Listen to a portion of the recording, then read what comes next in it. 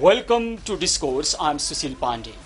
Pakistan is going to celebrate its National Day tomorrow. Nepal and Pakistan have a long history of diplomatic relations. Both the countries share a number of similarities. So, there are a number of aspects on which Nepal and Pakistan can work together. Bilateral trade, tourism, education, and sports are the fields on which both the countries have been joining hands for long. Today, I'm going to talk on this regard with Ambassador of Pakistan to Nepal, His Excellency Mazhar Javed. He was a medical doctor before joining Foreign Service of Pakistan in 1989 and served many countries across the world as an ambassador so far. Excellency, welcome to the show. Thank you so much, Mr. Sushil Pandey. The country is celebrating the National Day tomorrow. How are you celebrating here? Right. Before I answer how are we celebrating, let me put a personal note to that.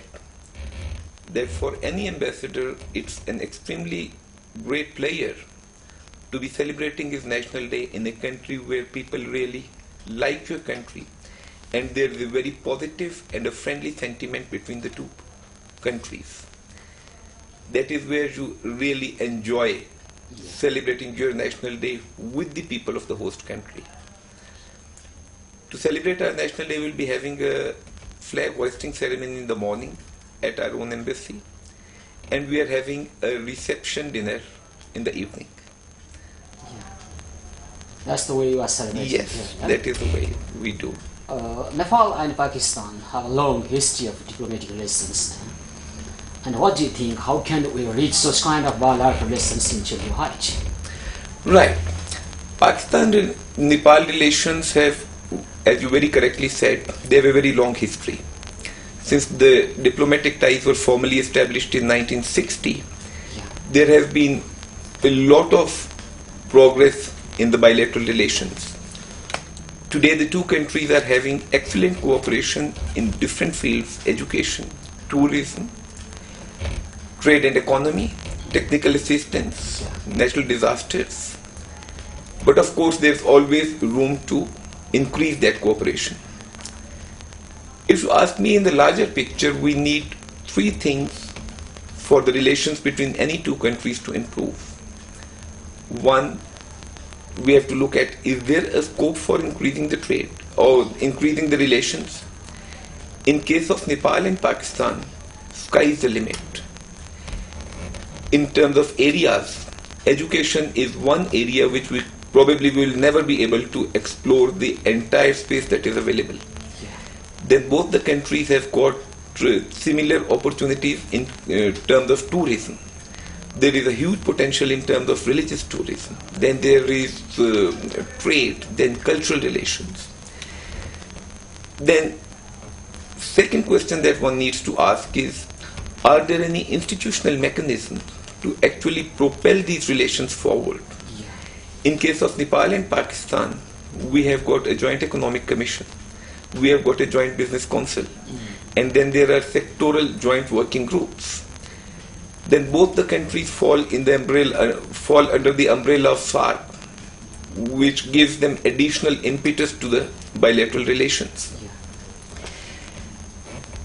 Over and above all, the biggest factor, the biggest factor that I would say is the positive, friendly, and warm sentiment of the two countries, of the two people. As a diplomat, one thing that I've learned is that one must never ever underestimate the strength of these relations. Yeah. If that sentiment exists, everything falls in line. All sectors, all mechanisms start working. If that sentiment doesn't exist, nothing works. At the end of the day, it is the public to public friendly sentiment. That is the main propeller of bilateral relations. Before going to people to people relationship, I'd like to ask one question as you have told me about the education. So far as education is concerned, Pakistan, Pakistan is one of the best destinations for the medical students of Nepal. Yeah. Exactly. Pakistan has got one of the best opportunities that it offers to Nepali doctors, both at undergraduate level and at the postgraduate level. Yeah. And I'm working with utmost focus Yeah. to increase this cooperation as much as possible. And again, here, it's, it's, the sky is the only limit that we can touch. I would like to put questions regarding yourself also because you are also an MBBS doctor, a medical doctor, and uh, practicing medicine for some time and engineering for for uh, service. Mm, Do you have any Nepali friends while you are uh, pursuing a medical doctor? A very interesting question. Yes, we had Nepali friends among our class fellows. Yeah. And that, still I remember how strong that friendship is when you sit with your foreigner friends, Nepalis, on the same uh, classroom benches. That is the kind of alumni fraternity that I want to build between the two countries. Yeah. And I very fondly remember them, and I'm sure they must be remembering me at least remembering, if not fondly remembering. Mm-hmm. Then what about the people-to-people relationship between two countries, or how can we enhance such kind of relationship? Right, people to people relations, first of all, we have to realize the importance of these relations. They are so important that the government to government relations can never build up until and unless there are people to people relations. We in Pakistan fully realize the importance of building up stronger people to people contact between the two countries, particularly when we have so many of cultural similarities to promote this education and alumni strength that I just mentioned, that is one very strong avenue. Hmm. So we would want as many Pak- Nepali students to come to Pakistan as possible. Hmm. There are already many, but again, Especially in medical in, in particular in uh, in the field of medicine, medicine. and more specifically in higher medical education. Then there are uh, the tourist attractions, right? Some of the most important Buddhist and Hindu important sites are located in Pakistan. We would want that religious tourism to be promoted to Pakistan. Yeah. Right. Then there are mountaineering associations that can work miracles in terms of bringing uh, uh, tourists from one to another country. In Pakistan, we are also actively pursuing the issue of resumption of direct flights to, uh, to Nepal. Because once there are direct flights, it promotes and facilitates everything, whether it's cooperation in education, tourism, trade, you name it, and its basis lies in connectivity. So we are very actively working to resume those flights. Mm-hmm.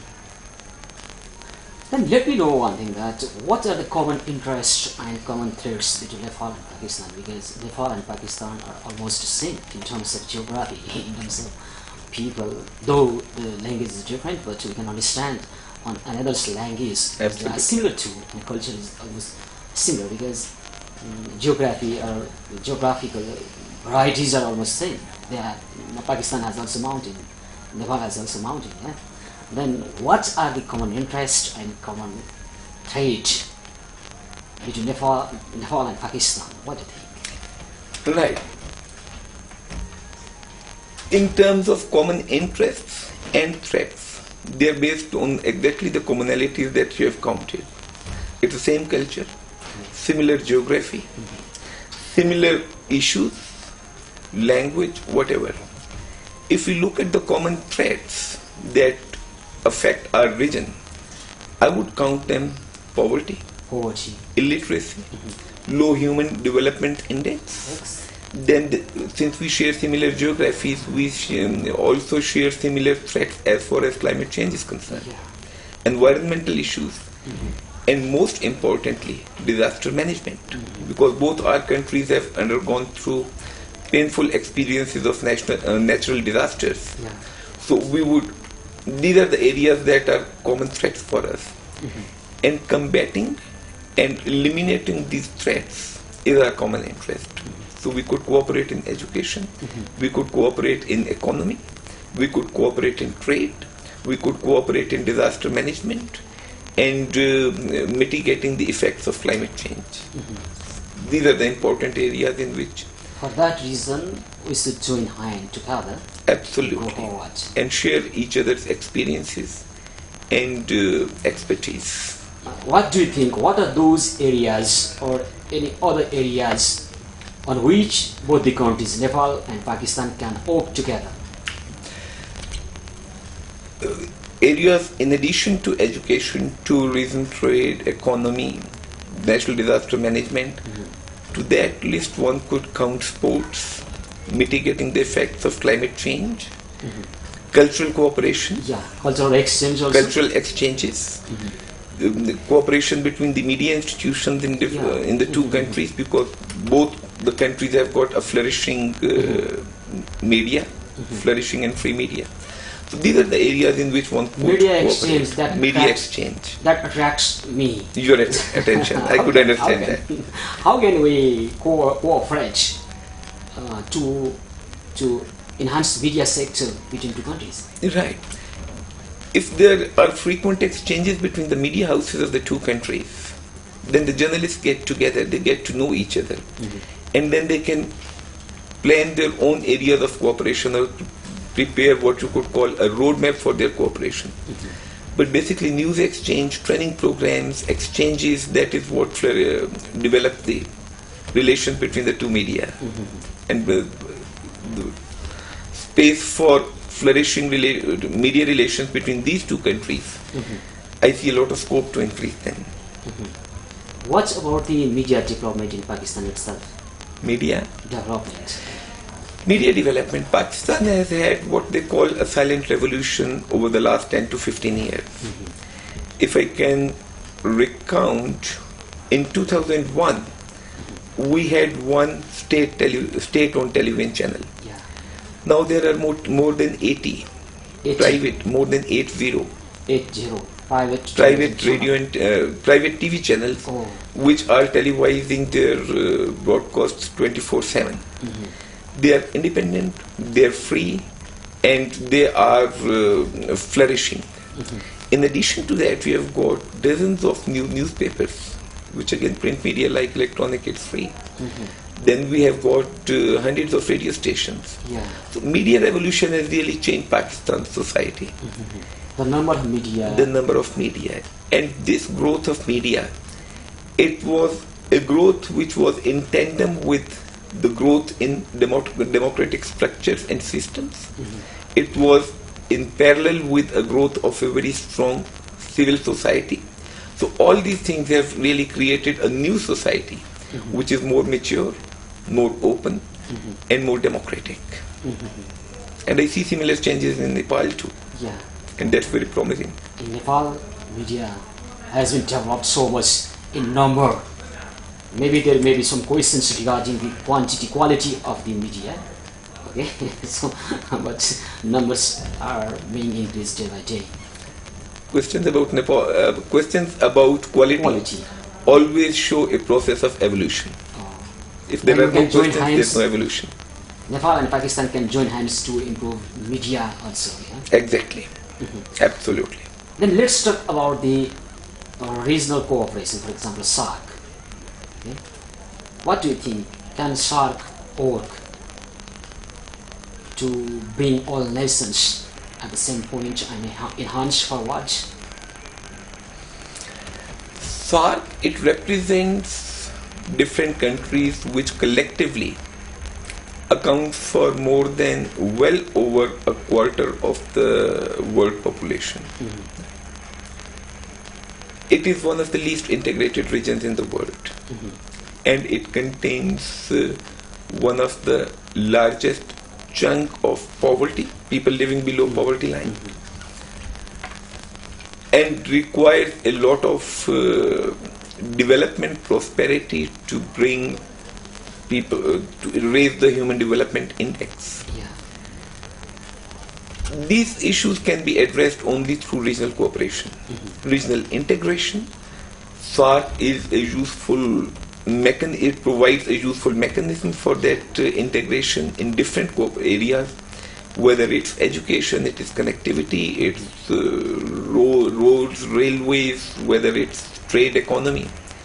So SAARC can pro- provide a very useful umbrella or a mechanism to promote the much, much needed uh, regional cooperation in this region. But some critics criticize that SAARC is not able to perform its role to strengthen the relationship between or among the SAARC countries as it is expected? What do you think? Right, that, re- that means that uh, we require more efforts Yeah. and more harmony, more political will. Yeah. Once we have political will, an impetus, and an urge to work in tandem for the regional development, with putting focus on regional integration, I think all issues will be resolved. Mm-hmm. Then we need political will, cooperation, and all the strategy Absolutely. to cooperate among SAARC countries. Absolutely. And the, the realization of the importance of regional integration for development and prosperity. Mm-hmm. Then what do you think, what are the obstacles that hamper to achieve such kind of political will, cooperation, or, or effort for the SAARC? Well, in, uh, it's not really obstacles. It's the need to push for, forward the process, and we can push for push it forward by realizing the importance of this regional cooperation, the urge and putting focus on human development, on alleviating poverty, bringing more education, having a better quality of life mm-hmm. through interconnectivity, depending and building interlinkages. Yeah. And once that is there, the political will and the impetus would come. We have recently had SAARC Council of Ministers meeting, mm-hmm. and uh, we discussed all different different issues. Mm-hmm. So we need to push the process forward with in an environment of cooperation, in an environment of mutual trust, Yeah. in an environment of mutual confidence, mm-hmm. mutual respect, mm-hmm. and spirit of cooperation. Mm-hmm. That is important. That are important. Yeah, I agree with you. Thank you. But some critics say that the SAARC cannot achieve such kind of goals. Some critics criticize it. It means we need extra effort. Absolutely. Absolutely. To create that congenial environment. Okay, Do you want to say something to Nepali people? Now Nepal has just promulgated new constitution and uh, it wants to go forward in terms of development, in terms of political stability, and in terms of having very strong relationship with its neighbor countries, new relationship. Do you want to say something to Nepali people, Nepali leaders, as an ambassador of a very good friend, Pakistan? First of all, my message to the Nepalese people is that of uh, wishing uh, them a very happy Holi. Yeah, we are they are celebrating celebrating. today. And um, while coming to the studio, I could see lots of colorful celebrations and Holi people enjoying. So very hearty, happy Holi. As for the developments in Nepal, both the countries also share an experience of a more democratic and a more pluralistic society over the last couple of years. We wish all the best to the Nepalese leadership and to the people, and for a very prosperous, developing progress of the people and the country. They have all our good wishes. Thank you for that. And uh, we are now at the end of the program. I'd like to ask the one uh, very uh, personal question to you. I've already asked you.